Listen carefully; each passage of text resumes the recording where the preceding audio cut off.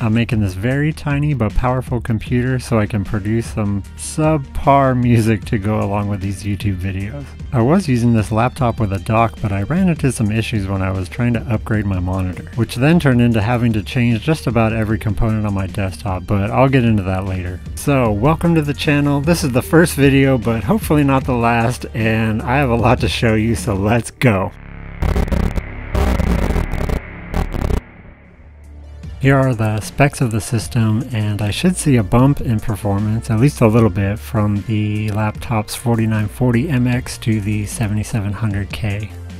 It's not the latest or greatest system components, but it is more than adequate for what I'll be using the computer for, which is just producing some music and you don't need a ton of CPU horsepower for that. And I'm not gaming, although you could play some games on a 1050 with 4 gigs. I had these base components sitting around for a very long time because I bought them on Craigslist when it was just a price that was too good to be true, so I jumped on it, but then I didn't end up using this computer for a while.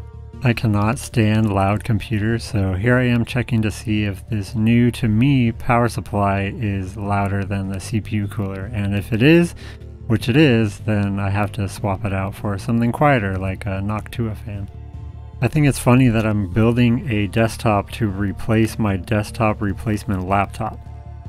The laptop I was using before was working very well. It's a Lenovo Workstation ThinkPad W541 and that has more than enough power to, you know, make some music, but I had an issue with either the laptop or the dock or this monitor I was trying to use it with. This all started because I wanted to upgrade the monitor so that I could have a higher resolution so I could see more of the digital audio workstation. This monitor only had one DVI port and no other ports, which posed a problem.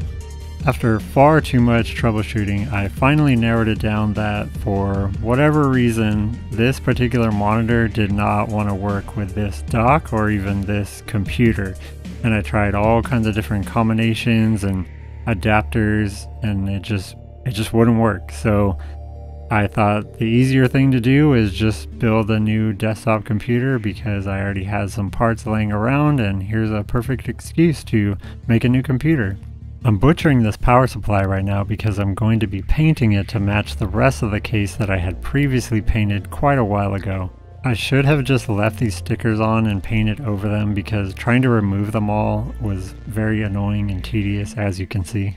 The fan that comes with this power supply is 80 by 15 millimeters and the fan that I want to put in there is 80 by 25 millimeters so it won't actually fit inside the case so I'm going to be mounting the fan on the outside of the case to make that install just a little bit easier on myself and if I ever need to replace the fan later I'm putting a connector on the power supply and making it shorter so I don't have a ton of wires inside of the power supply. I already had a power supply that was paint matched and fan modded. That's actually the same fan that I was using before, but I accidentally killed that power supply. It was very stupid. I unscrewed one of the motherboard standoffs screws and dropped it into the power supply. I thought that I had got it because I shook it and nothing came out. And so I was like, well, I shook it hard enough to where if something was in there, it would have come out and it didn't. So when I turned it on to test it before I made this build, out went all the magic smoke and yeah, it was dead.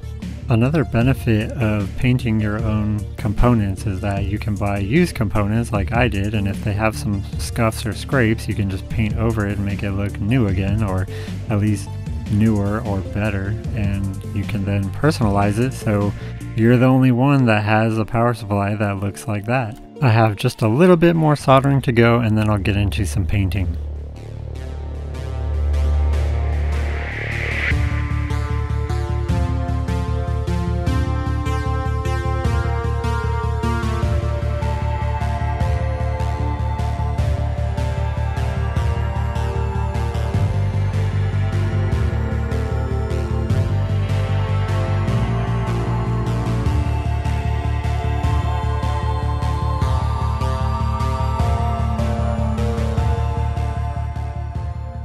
Painting the CPU cooler was super easy. I wanted to go with just a very simple color scheme so that I could use this heatsink on a bunch of other different systems and not have it look too terrible.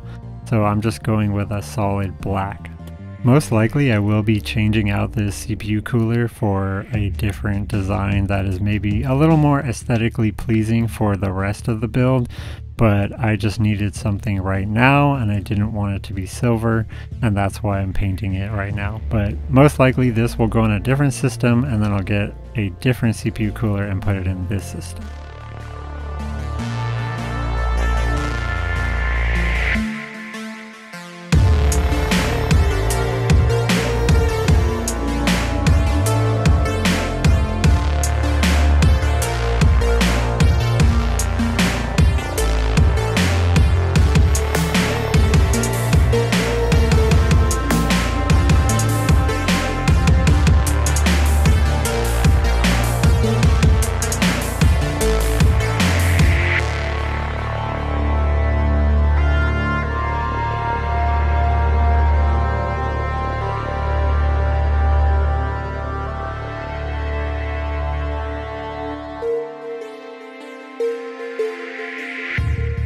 Removing your masking tape after painting is always one of the most satisfying feelings.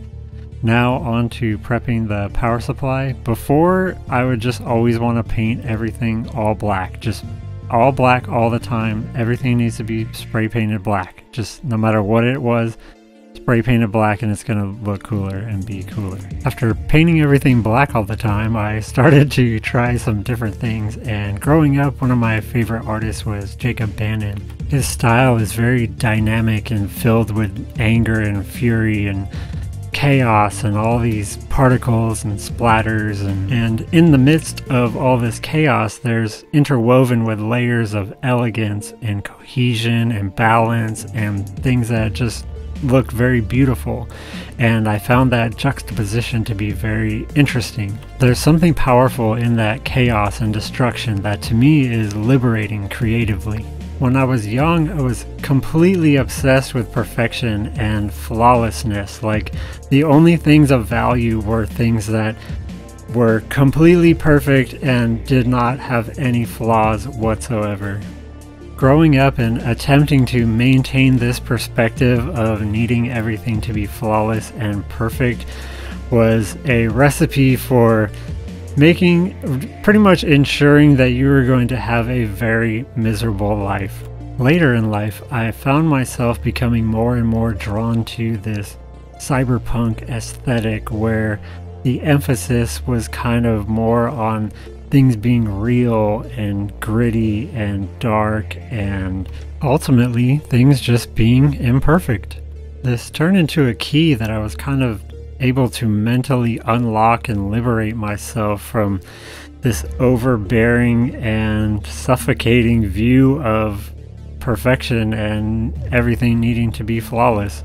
I was surprised at looking at things that I used to look at and think were ugly or flawed or not perfect, and I started noticing that the things that actually made them seem more perfect in my eyes were the fact that they had flaws and they had characteristics about them that were unique to them, which to me, when things are perfect, they're usually like uniform. And it was kind of like these disruptions that made things actually more beautiful in my eyes extreme levels of order and perfection to the point of counterproductiveness and inefficiency and the laws of diminishing return is still something that I struggle with even to this day, but I've definitely come a very long way in embracing different ways of looking at the world. I know I went completely off on a tangent and that was very imperfect of me, but here I am exercising my philosophy. And if perfection is something that you also struggle with, then I highly recommend attempting to extricate yourself from that paradigm. This is a subject that I've definitely given a lot of thought to, so maybe I'll make a dedicated video to that in the future.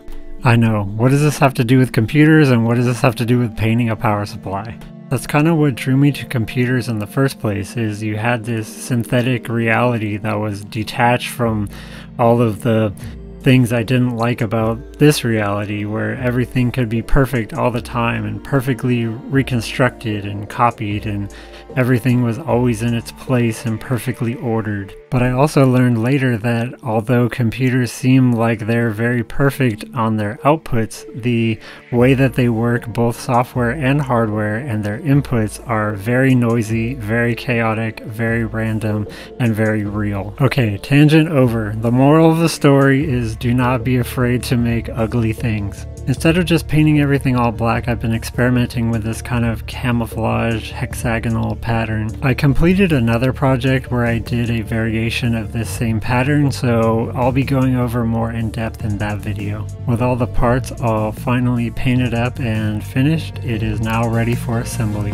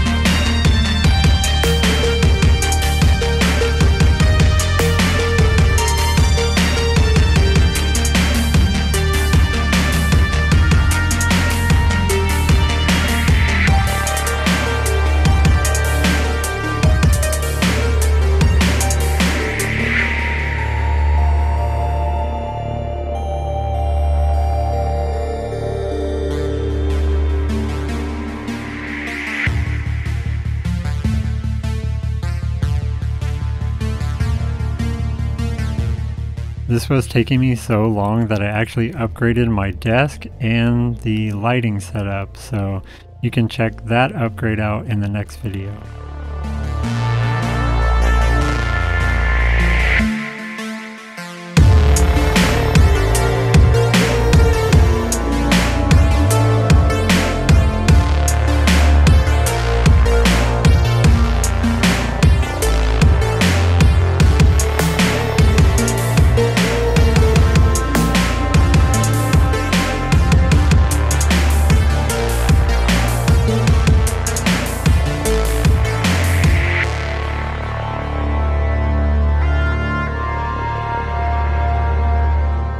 And I'm done. I think it came out pretty cool. I'm happy with it. You might think it looks terrible and ugly and what in the world is that? What is going on here? But I think it looks cool. I'm happy with it. And the good part is you can have a gigantic heatsink on a tiny little footprint. So I have this hanging off my desk because it's only taking up a very small amount, but I still have more than adequate cooling for all the stuff that I want to do with it.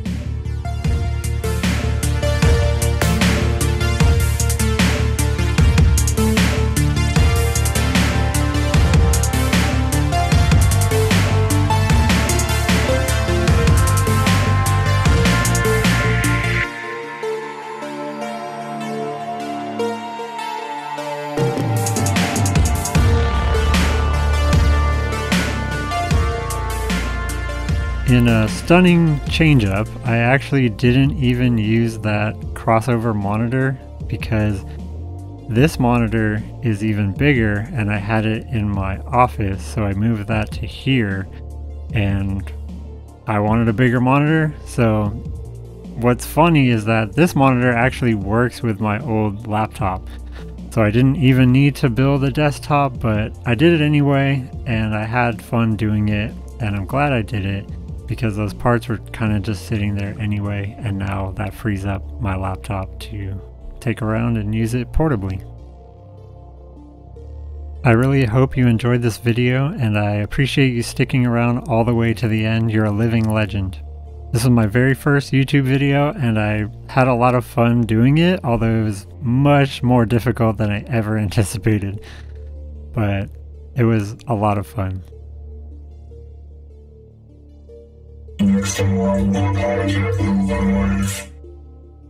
I'll show you how I made this overhead camera mount with LED lighting.